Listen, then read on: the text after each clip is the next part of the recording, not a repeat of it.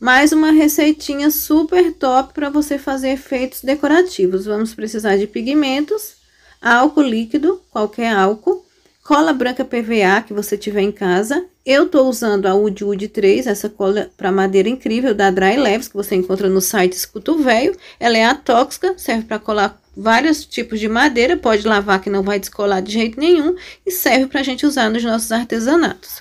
Coloquei 100 ml de cola em cada potinho, tá? E vamos acrescentar os pigmentos. Você pode fazer uma cor só ou fazer suas misturinhas de cores e ter cores exclusivas para você fazer seus efeitos decorativos, seja em gesso, em cimento ou também em madeira.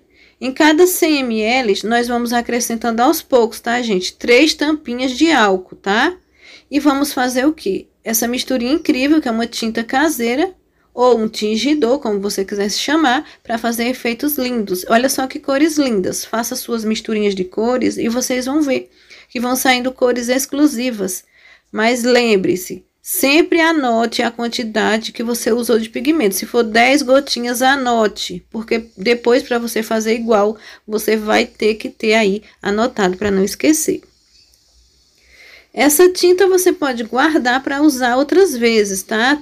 Tampado o potinho. Toda vez que for usar, você mistura bem.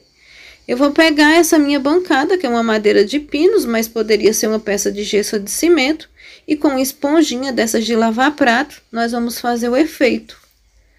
Com o pincel não fica bonito, fica melhor com a esponjinha. E aí você faz o efeito de acordo com a tua criatividade, tá? Eu tô fazendo aqui só uma demonstração, mas já ficou bonito o efeito.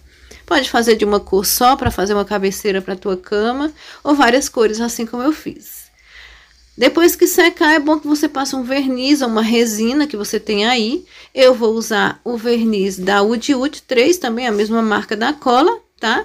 Ele é um verniz incrível e deixa toda a superfície vitrificada. E depois eu posso lavar à vontade, que não vai sair de jeito nenhum o efeito que eu fiz. Ele também é do site Escuto Velho. Ele rende muito, tá, gente?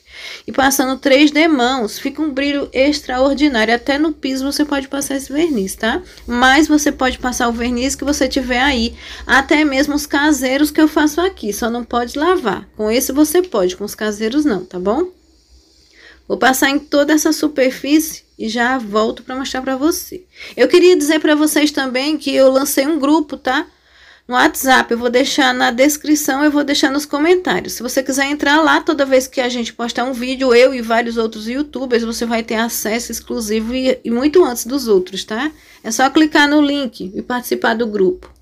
Olha só o resultado, gente. Ficou um brilho perfeito. Lindo demais esse brilho. E esse efeito também ficou bacana. O que você achou? Gostou? Então faz aí na tua casa. Gastando pouco dinheiro, você pode transformar todo o ambiente. Beijo, meus amores.